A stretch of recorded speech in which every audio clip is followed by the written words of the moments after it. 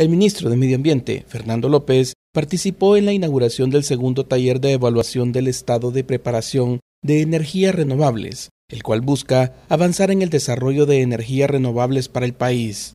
Las energías renovables tienen un gran potencial para mitigar el cambio climático y pueden portar otros beneficios al utilizarse de forma adecuada, potenciando nuestro desarrollo social y económico. El cambio climático tiene efectos no solamente en el clima en sí, sino que afecta nuestra seguridad y nuestra soberanía alimentaria. Hay migración asociada al cambio climático, hay migración asociada a los fenómenos naturales y los desastres que produce el cambio climático. Una de las directrices que nos ha dado nuestro presidente Nayib Bukele es trabajar por cambiar la matriz energética y crear iniciativas de generación eléctrica que permitirán dos cosas.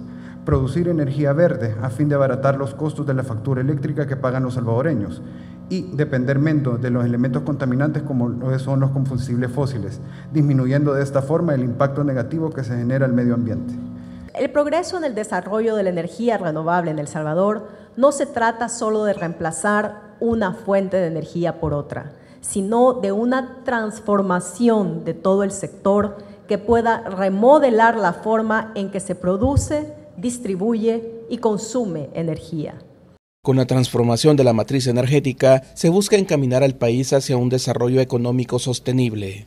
La transformación de la matriz energética y la explotación de nuestras posibilidades como generadores naturales de energía, como es la geotermia, como es la eólica, como es la fotovoltaica, entonces se ponga en una condición superior, que vayamos en ese camino.